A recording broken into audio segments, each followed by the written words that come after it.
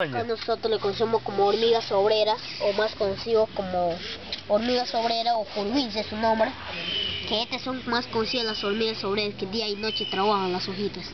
Acá lo voy a mostrar uno solo. ¿No te pica? Bueno,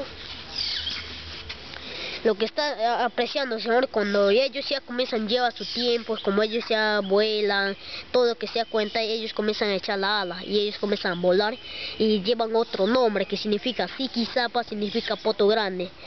Siquizapa se lleva otro nombre cuando es su tiempo. Es la que le comen. Ah, Sí, que lo que le come. Y lo que está acá, el potito, estás apreciando, señor. Eh, el potito que está acá. Sí. Eso estás apreciando. Ellos cuando llegan su tiempo ellos comienzan a crecer. Y acá se significa así quizá pa significa poto grande. Solamente el potito le trozan y el resto le dejan el cuerpo. Hormigas obreras. Ahí se dan cuenta del árbol cuando estamos mirando más hasta entra el lobo de rey y este es un, este es un sapito señora que está acá. ¿Cuál? La ranita. La rana. La ranita.